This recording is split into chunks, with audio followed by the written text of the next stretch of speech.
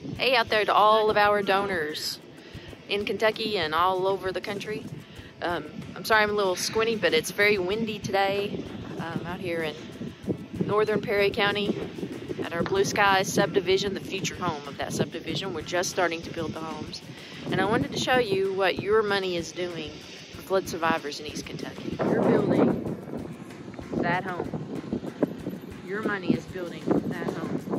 So the subflooring is down, pretty soon the walls will go up, and the roof will be on, and a flood survivor, whether it's a single person, probably a family, will be moving into this home, hopefully by the holidays.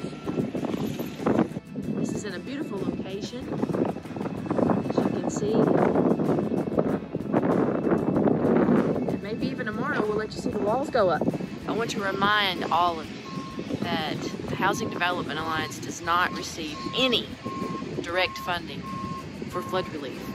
So a lot of the work that we're doing is completely driven by donations and the support of our community and the support of people from all over the country. And we hope that you guys keep sending that to us because this process is a long haul process. It's going to take years for us to recover here in East Kentucky. But guess what?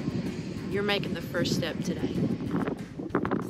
Got one house going up and pretty soon we'll have a second one because hey, check this out—the Block is laid for a second home for a flood survivor family.